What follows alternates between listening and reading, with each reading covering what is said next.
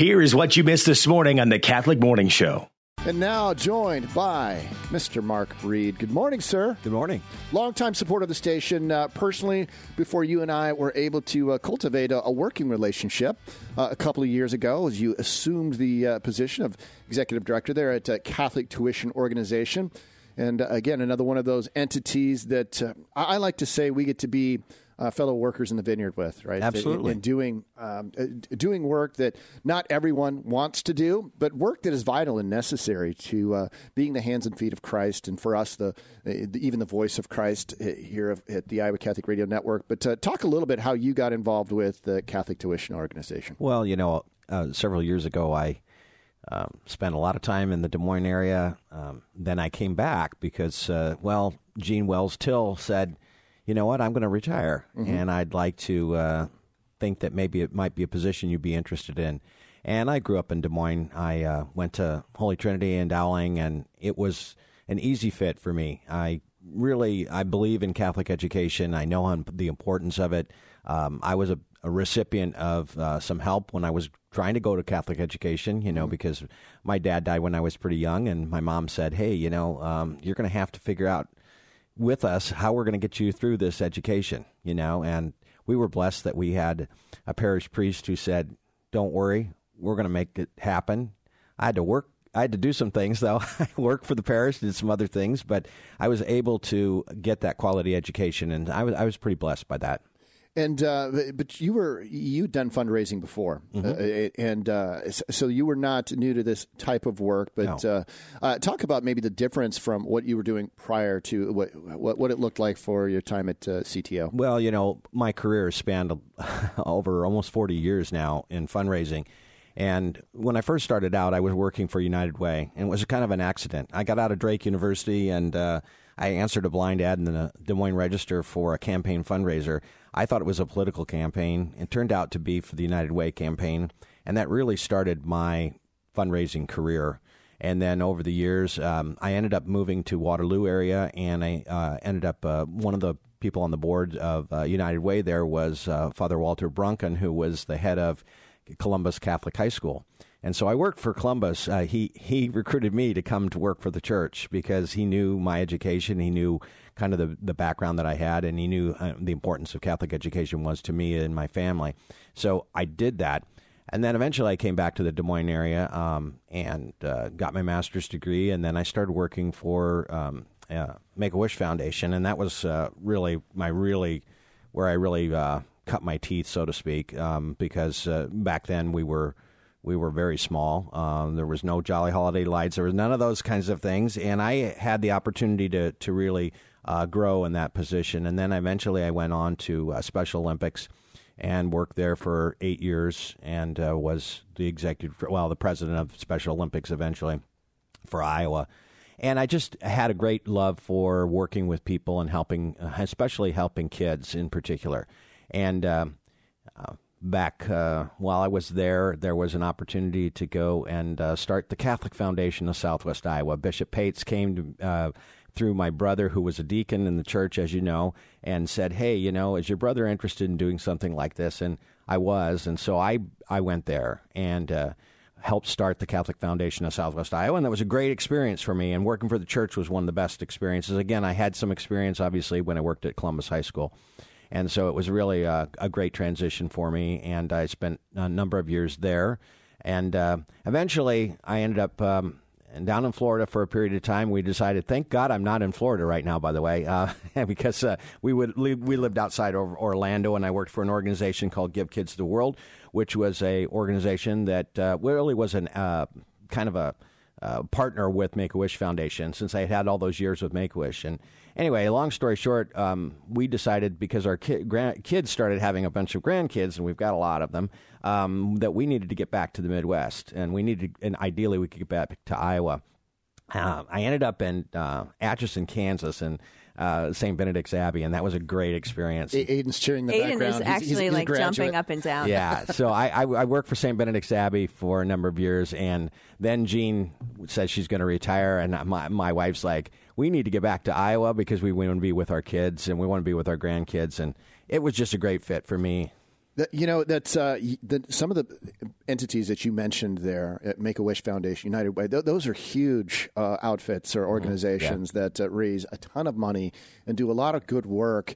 Uh, but uh, you know, your time at CTO probably hasn't gone. I, I, think it's fair to say as planned. Like it's. I don't want to like over dramatize the situation, but it's kind of like Bishop Joensen being appointed Johnson and then COVID breaking out, right? Like, right. like you you entered. There, there was probably not um, the vision, the, the understanding how ESAs were going to play a role in the work that you do. And right. we're talking about education savings account. Uh, talk about a little bit uh, the challenge that you have faced with. Uh, well, uh, with, you know, the the challenge is that it, many of our donors think that education savings account covers everything for the kids, and it just doesn't. Right. Uh, the reality is there's there's really two ways of looking at it. Um, education savings account um, really can be used for several things. It can be used for tuition, but it can also be used for things like tutoring and special therapies and other things like that. CTO can only be used for tuition. So when a donor gives to us, the, and we give to those children who meet the criteria, which is 400% of the federal poverty level and below. Okay, mm-hmm. so these are families that, on our average family in CTO, really only makes uh, on average about 200% of the federal poverty level. So they're they're really not people who have a, a, lot of uh, means. Right. And for them to be able to keep their child in Catholic education, it's a challenge no matter no matter whether you have CTO or ESA, it's still a challenge because there's all sorts of challenges that they have with the you know a lot of times they're working uh, two jobs and they're doing all these things to try to keep, make ends meet and there's always never there's just never enough. And when it comes to things like needing maybe your child needs some special has some special needs or needs some special tutoring, those kind of things. Um, so right now, what happens is the CTO dollars are the first dollars towards their tuition. Okay, so when a child goes to, let's say they go to a, a you know um, St. Theresa's here mm-hmm. locally, and uh, you know they have a certain amount for tuition. If they get money from CTO, that's the first amount taken off of their tuition balance. Then the remaining would come out of their ESA account anything that's left over can be used for those other things that we just talked about, yeah. or it can be used for future tuition needs. And we know that the cost of tuition is not going to go down. We know that they're going to have needs farther down the road, whether they're at still at St. Theresa's or whether they choose to go to Dowling Catholic or one of those places. And so there's a lot of perception that oh the needs are already met so we don't need to give anymore and that's not the case we just the the families that we talk to say it makes a huge difference for them to be able to know that they can get these other services that they need because they get the money from CTO Mark I know there's a lot of people really excited about what you just said because the reason why they, they opt into the public school system is because some of those those services those extra services yep. that you mentioned are available yep. right what you're saying what you're what you're communicating here is that uh, that with the combining the, the CTO gift as well as the ESA, people can keep their kids in, in private education, Catholic education, and then uh, also have some money to, to put towards those services that yeah, are exactly. that, that may be so vital to, uh, to, to the child's development, to their uh, to their later success in life. And, and, as we talk about respect life, I, I just think what what a beautiful way to uh, recognize the dignity of the human person and affording them the opportunity to receive a Catholic education. Right, and and that's that's the you know the the crux of it. The other part of it is that we have donors that you know of course one of the things that we offer that very few charities offers that we offer the Iowa tax credit right. uh, and that's 75% off of you know you, when you give a gift to us that you know let's say it's a $1000 they get $750 back in iowa tax credits that can be used up to five years which a lot of people don't realize right. that rolls over and um, the challenge has been a little bit for us is that the effective rate for Iowa taxes has gone down. Yeah. Now, that's a good thing, I think. Personally, I like I like the idea of paying less taxes, but the challenge is our donors don't need the tax credits to the level they used to need them, and that's sure. been between that and the ESA. It's made it a little more challenging for us sure. to raise the dollars that we need to raise. The uh, uh, one of the things here at Iowa Catholic Radio, and we've been highlighting that here this morning, is we like to be a voice for nonprofits. And whether you give to Iowa Catholic Radio, which, as I've mentioned, we are also in the midst of uh, of raising funds, or uh, Pulse Life or CTO, all of this work goes to uh, building up uh, our community for uh, for the kingdom of God. So, uh, Mark, I know that uh, part of the reason we had you on here is we talked about uh, we we talked about your work and we want to celebrate that, but we also want to let people know there's a job opening. We got just about two minutes. Yeah. Uh, let people know uh, maybe just a quick snapshot of the job, where they can learn more and apply if if if they want to learn more about uh, supporting CTO or this job that uh, is coming open because of your uh, your departure. Well, the best place they can learn more about CTO is ctoiowa.org. That's the place that you can learn all about CTO. You can learn about what we do, how we help the kids, how many kids we help. Over 2,300 uh, kids each year that we're give, giving awards to. That's that's significant. Um, the role of the director uh, is really to lead the effort, to go out there and meet with donors, to talk about the mission and why it's important and why it's still needed, um, to uh, help connect them with the idea that they can help these kids and their families to to really uh, achieve great things in their lives through our Catholic education. And so, you know, the the individual need ideally would have a bachelor's degree and maybe an education or um, could be in business or that kind of thing. They don't have to be, you know, ideally they would have some fundraising experience, but what they really need is a passion for Catholic education. Yeah.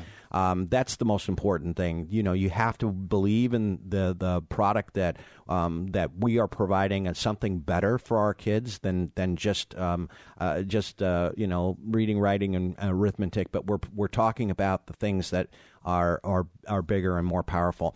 Uh, the way to find out more is just go to our website. That would be the easiest. Uh, if they want to send in a uh, resume and cover letter, they're certainly welcome to do, do that. They can send that to cto at dmdiocese.org. Very good, Mark. Uh, a, great admiration for the work you, that you've done, and I'm sure is in retirement you'll still still find a uh, f- find a way to keep giving back. As it, it's just at the at the heart of who well, you are. I, I know my pastor has great plans for me. He has already told me. He said, "Now don't think that you're getting out of doing things." So, uh, um, so does Iowa Catholic Radio has plans for you too. Listen to the Catholic Morning Show weekday mornings at 7 on the Iowa Catholic Radio Network, iowacatholicradio.com, or the Iowa Catholic Radio app.